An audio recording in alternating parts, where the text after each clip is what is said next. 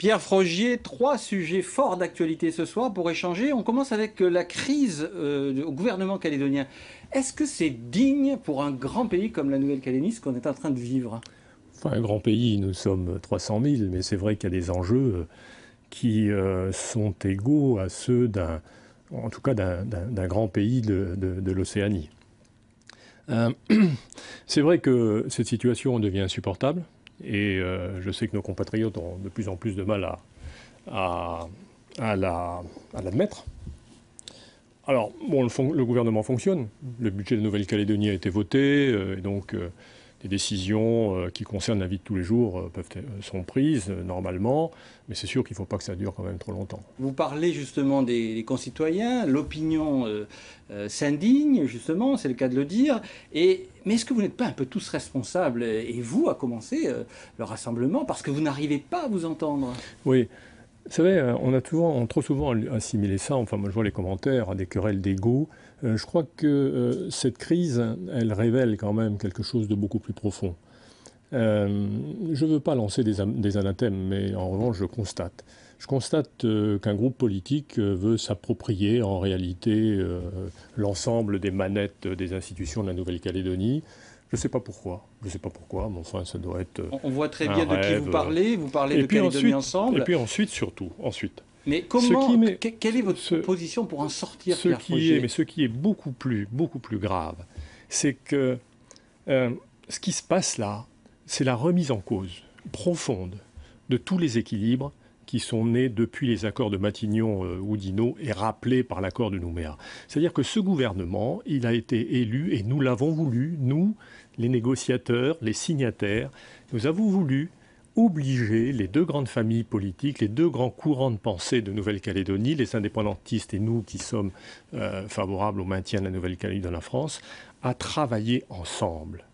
Et personne ne peut s'approprier ce gouvernement. Personne n'a la majorité au Congrès. Personne ne peut s'approprier cette, euh, cette, institution. Et donc, pour en sortir, eh bien, il faut revenir aux sources de l'accord de Nouméa et des accords de Matignon la source, c'est qu'au sein de ce gouvernement doivent cohabiter la logique démocratique, puisqu'évidemment euh, les 11 membres du gouvernement sont élus par euh, les conseillers, par les élus du Congrès, euh, mais ensuite il faut faire cohabiter aussi la logique du consensus, c'est-à-dire faire en sorte que sur l'ensemble des, dossiers, ce soit le compromis par la recherche du consensus qui prévale. Attention Pierre Frogier, le mot consensus, certains vous le contestent, car vous avez en, d'autres temps euh, parlé, euh, bah, contesté le consensus en disant que vous vous sentiez désengagé de l'accord de Nouméa. Ce sont vos propos en 2006. Donc aujourd'hui, vous en appelez au consensus. Oui, attendez, remettons ces propos quand même dans leur cadre.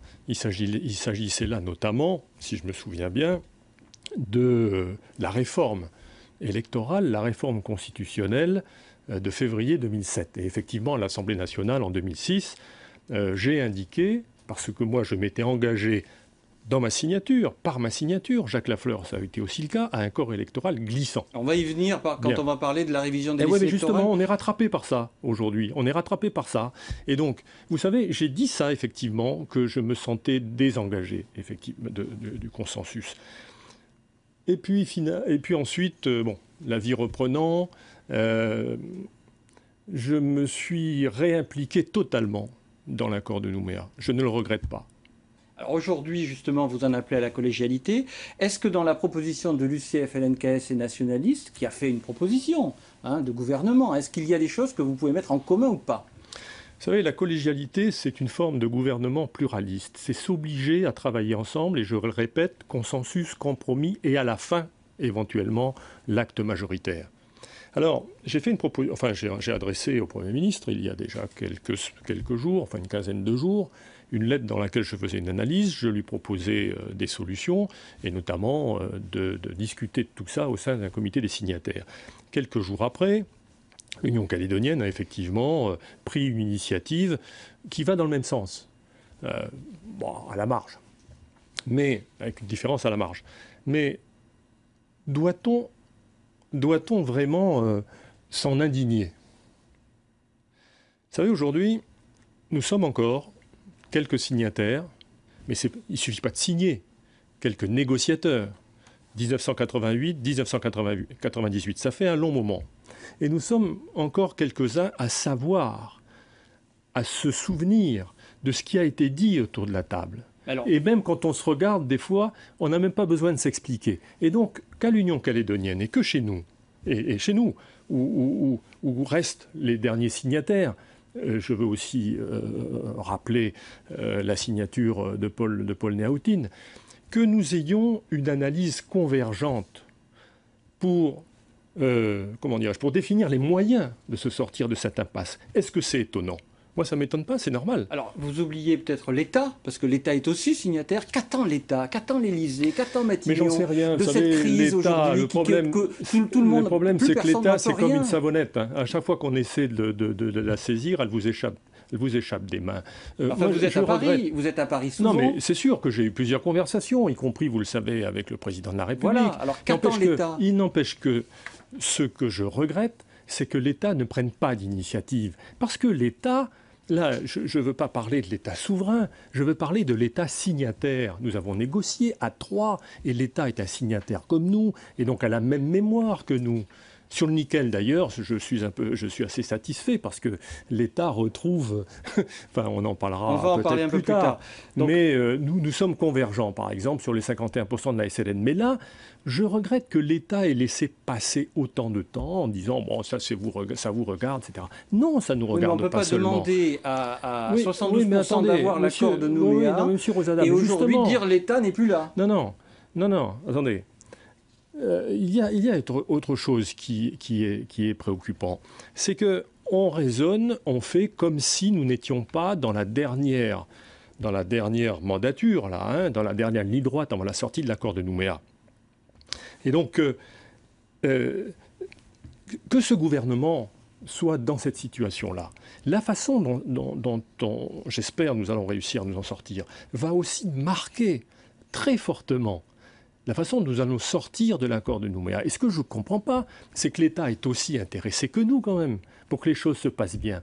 Pourquoi ne prend-il pas d'initiative? Alors justement, je, pense qu'à Paris, les gens, enfin les, les, responsables, que ce soit à l'Élysée, que ce soit à Matignon, que ce soit à l'outre-mer, peut-être ont pris conscience euh, d'une situation qui, que, tout, que tous ces responsables n'avaient pas très bien peut-être analysée au départ parce qu'on a peut-être aussi euh, des responsables politiques locaux qui, les ont, qui leur ont raconté des histoires.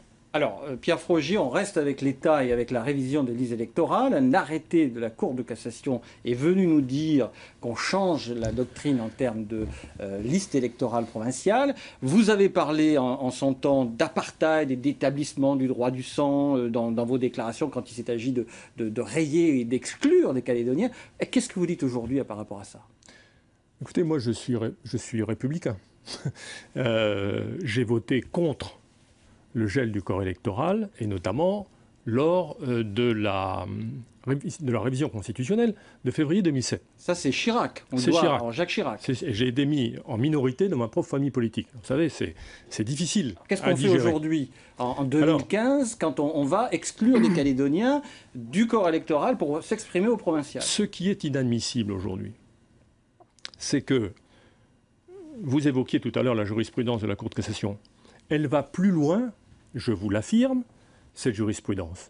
Elle va plus loin, malheureusement parce que la réforme constitutionnelle a été mal rédigée, que ce que, souhaitaient non seulement les responsables politiques, le FLNKS d'abord, hein, au premier rang d'entre eux, et celles et ceux qui ont voté ce jour-là à Versailles ça va beaucoup plus loin. Qu'est-ce que voulait le FLNKS C'est que toutes les personnes arrivées après novembre 1998 ne puissent pas voter aux élections provinciales, peu importe qu'elles soient inscrites ou pas en 1998. Voilà, c'est ça. Et je, reste, enfin, je rappelle que Jean-Marc Ayrault, il y a un an, euh, avait imposé aux représentants de l'État dans les commissions cette, euh, cette doctrine, cette interprétation. Donc vous rejoignez Calédonie ensemble Malheureusement, sur, ce, sur ce point-là. Ah, oui, mais on, l'a toujours dit, on l'a toujours dit. Mais, mais là où je ne les rejoins pas, c'est que moi j'ai demandé un comité des signataires il y a un an.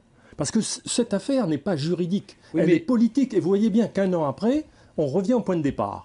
Alors que si on avait suivi ce que je proposais, c'est-à-dire un comité des signataires où là aussi l'État aurait été obligé de se mouiller, eh bien on n'en serait pas là aujourd'hui. mais le comité des signataires, le 12e, vous y êtes allé, vous n'êtes pas resté. J'ai dit ce que j'allais dire et je suis parti à 13h. Voilà, je ne pouvais pas faire mieux. Alors aujourd'hui, qu'est-ce qu'il faut faire pour euh, que les Calédoniens n'aient pas le sentiment d'être dans un apartheid, c'est votre mot, je le reprends. Est-ce qu'il faut adapter le droit? Est-ce que vous parlez avec le FLNKS sur ces questions-là d'ailleurs? Oh, On s'est beaucoup parlé il y a longtemps. Mais là, aujourd'hui Malheureusement, bah, les conditions ne sont pas réunies pour se parler, malheureusement. Enfin, je sais qu'au sein des commissions qui travaillent depuis quelques jours, il y a des échanges entre les représentants des indépendantistes et nous qu'il n'y a jamais eu auparavant. Donc les choses ont l'air de bouger. Parce que, je vous le répète, les indépendantistes savent que leur exigence, c'était après, euh, euh, ne votent pas euh, les personnes qui sont arrivées après novembre 98. Alors que là, ce qu'on exige, ce que les magistrats disent, c'est d'aller beaucoup plus loin. Et donc, comment se sortir de là? Et on revient sur... Vous savez, moi je vais me battre jusqu'au bout contre le scrutin d'autodétermination en 2018. Je suis persuadé qu'il faut un autre accord. Alors après, vous pourrez le dénommer comme vous voulez, mais il faut que l'on qu'on se remette autour d'une table et dans pas trop longtemps, de façon à évoquer justement tous ces sujets et en sortir par le haut, parce que ce sont des sujets politiques, ce ne sont pas des sujets juridiques. Donc vous nous, vous nous dites, vous nous redites votre volonté d'un troisième accord. On arrive presque à la fin, il faut qu'on parle du nickel. Vous avez vu dans le journal, il y a eu euh, SMSP et POSCO ont inauguré leur ligne de production en Corée. C'est important. L'usine du Nord, vous y avez cru dès le début ou pas? Parce qu'aujourd'hui, là, on a l'usine du Nord était une... de la euh, l'usine du Nord. L'usine du Nord était une nécessité, était un impératif. Et malheureusement, c'est la SLN, avec les responsables du Nord, avec la province Nord, qui aurait dû faire ce projet. On ne va pas refaire l'histoire. Résultat, maintenant, il y a vous savez que nous, nous avons été souvent critiques, mais interrogatifs sur le montage financier de, l'usine du Nord. Sur ce qui se passe aujourd'hui en Corée, ben, tout le monde a été mis devant le fait accompli. Euh, moi, je n'ai pas, pas été invité. Nous avons été quelques-uns à ne pas être invités à cette cérémonie. La présidente du gouvernement y était Non, non, elle n'y était pas. Non, non, elle n'y était pas. Non, elle avait rendez-vous à Paris, elle n'était pas à la présidence du gouvernement. Elle était probablement invitée, mais elle n'y s'est pas rendue. Mais enfin, un certain nombre d'entre nous, et si j'ai entendu Paul Néautine tout à l'heure dire qu'ils euh, avaient obtenu euh, un engagement, notamment de la SLN, de fournir 350 000 tonnes, je vais vous dire ce soir, moi, je n'y suis pas étranger. C'est moi qui l'ai proposé euh, au comité des signataires de, 2013. Mais bon, nous, on, ne faisait peut-être pas partie de, on fait pas partie de la bande. la bande, c'est qui la bande? Mais non, mais de tous ceux qui, sont qui ont été invités, il y avait une cinquantaine de personnes. Je pense qu'ils ont été triés, ces personnes ont été triées sur le volet. Et ce que les images que j'ai vues tout à l'heure, ça ressemblait euh, à une élection, de, élection de Miss France ou de Miss Corée. Vous dites mais on reviendra là-dessus parce que c'est un sujet essentiel, essentiel pour la Nouvelle-Calédonie, essentiel pour son avenir. Je parle du nickel en général. Le montage, vous dites, euh, c'est quoi? C'est transparent, c'est opaque? Non, mais vous savez, vous, de quoi la SMSP est exactement propriétaire? En Corée Vous savez?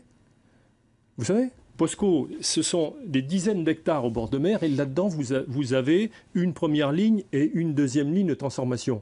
Qui paye l'électricité, à quel prix? C'est pas une usine, c'est pas propriétaire d'une usine. Alors, Pierre donc il y a besoin d'avoir, enfin, nous, nous, nous, nous ne sommes pas capables d'avoir, nous ne sommes pas en mesure d'avoir des informations sur ces sujets. Mais un jour, vous savez, la bulle, elle va éclater, puis on saura exactement ce qu'il y a dedans. Pierre Frogier, la vie des Calédoniens est difficile. On le sait, on le voit. Euh, vous allez à Ducos, tout a augmenté de 5% euh, depuis qu'on est sorti du gel des prix.